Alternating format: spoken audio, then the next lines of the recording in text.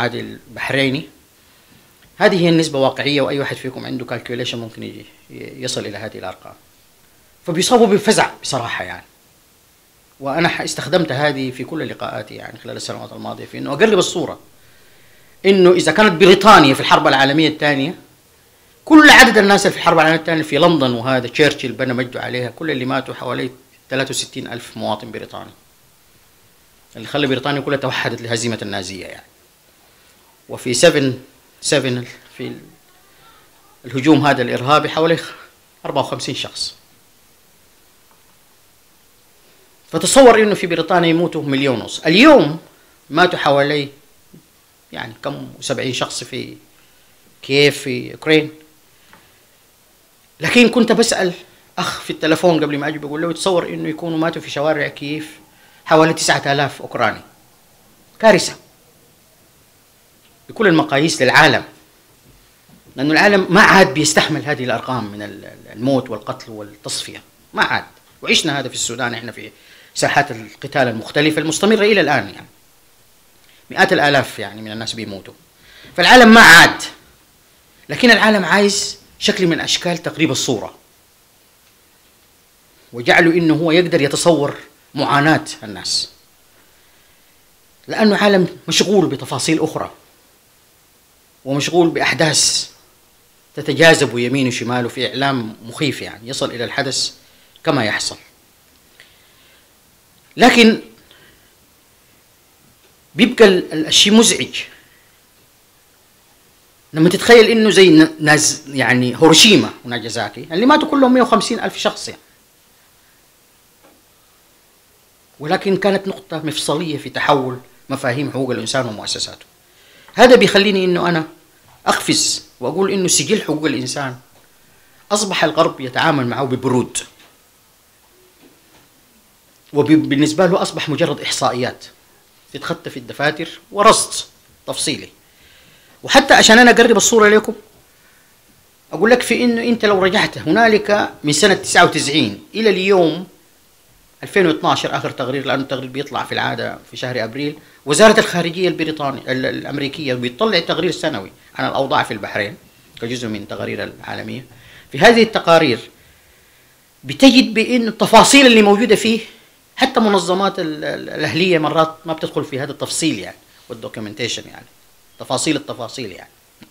واستعرضنا سجل لحسن الحظ أو لسوء الحظ إنه الملك حمد جاء إلى سدة الحكم في مارس 99 وانه أول تقرير موجود سنة 99 فالسجل اللي موجود في الخارجية الأمريكية من 99 إلى اليوم هو سجل تفصيلي بمعنى أن الإدارة الأمريكية التي بذلت هذا المجهود لتجميع هذه المعلومات التفصيلية التفصيلية بمعنى أنها ما من شيء في البحرين يتعلق بأوضاع أهل البحرين إلا موجود فيه. فالسجل الآن لمدة 14 عام. وإحنا داخلين في أبريل الجاي هيجي ال 15 يعني طوال فترة الحكم مسجلة بتفاصيله مش تقرير كاتبه الأستاذ سيد الشهابي ولا نبيل رجب ولا غيره لا. حلفاء النظام واللي مرتبطين بذلك النظام هذه شهادتهم. ولكن ثم ماذا بعد؟ هذه هي المشكلة اللي أنا عايز أناقشها معاكم اليوم. وأبتدي بالكلام اللي قاله ويليام بيرنز نائب وزير الخارجية أول أمس. وأنا ما أعرف إذا أنتم سمعتوه ولا لا لكن موجود في النت الآن ممكن تشوفوه يوم الأربعاء 19 فبراير. هذا الحديث خطير جدا لأنه هو ضربه البداية لزيارة أوباما إلى الرياض في منتصف مارس اللي ولأسباب حقيقة في معرفتي المتواضعة وأنا رجل متابع يعني إنه هذا الحديث اللي كان عنوانه عن ما هي الأجندة المتجددة للعلاقات الخليجية الأمريكية. هو أجندة للعشر سنوات أو الخمسة سنة القادمة في التعامل بين أمريكا والمنطقة. وإذا نحن في البحرين أو في السودان أو في السعودية أو في غيره دايرين نفهم ما يحدث يجب أن نحرص على قراءة واستماع إلى هذا التقرير.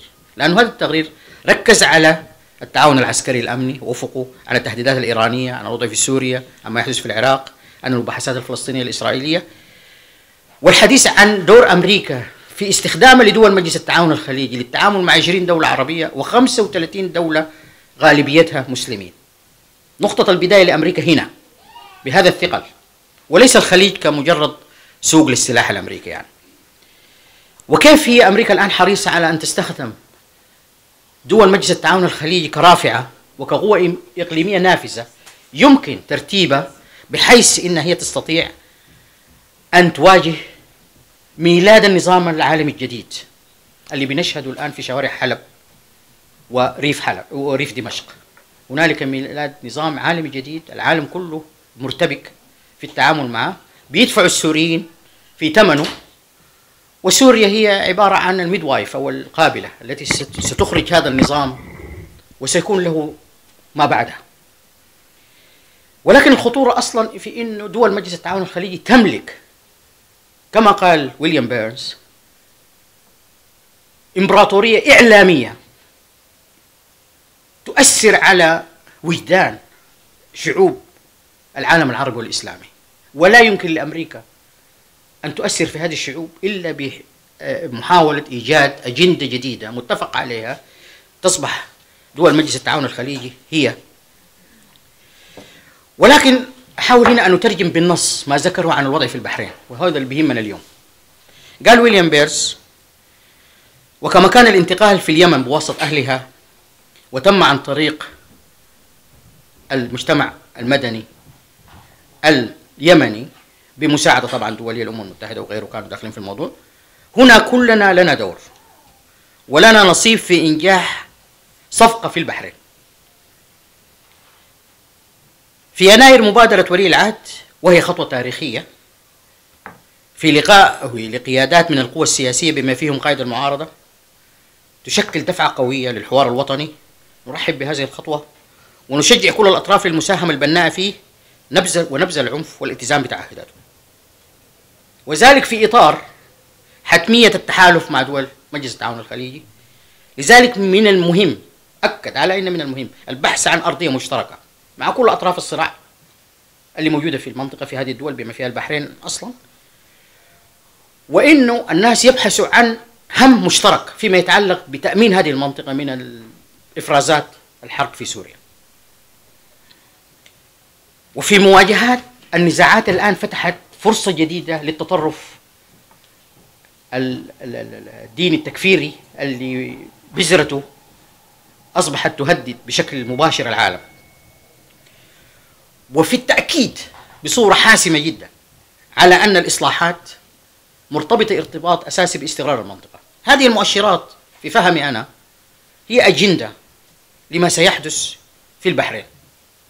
ولكن وأنا خارج نطاق الغابة البحرينية ولا أدعي أني أفهم أكثر. أنتم أهل الديرة وتفهموا أحسن مني ولكن أنا عشت وارتبطت بتلك المنطقة 25 سنة من عمري يعني. فأستطيع أن أدعي بأني بعرف بعض الشيء عن ما يحصل في البحرين. واشتغلت في غمة جهاز الحكم فأفهم داخل الحكم ماذا يفكر لل 25 سنة الجاية. لأني كنت على الأقل لسوء الحظ أو لسوء الحظ أنا كنت مستشار التخطيط الاستراتيجي يعني. كنت أتكلم وأشتغل عن ما يحدث في البحرين وليس ما ما الآن يعني في الوضع الاني فاستطيع أن أدعي أن أفهم بعض الشيء. قد يختلف معي الأخوان وقد يتفق ولكن أنا بتكلم من شخص كان داخل المطبخ يعني.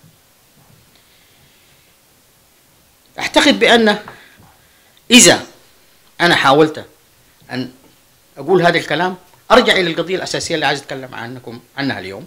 وفتحت العنوان بتاعها في مجلس الوردات فيما يتعلق بتغيير البحرين التي نعرفها. وحددت الموضوع إنه البحرين التي تعرفونها واعرفها ستتغير طعما ولونا ورائحة.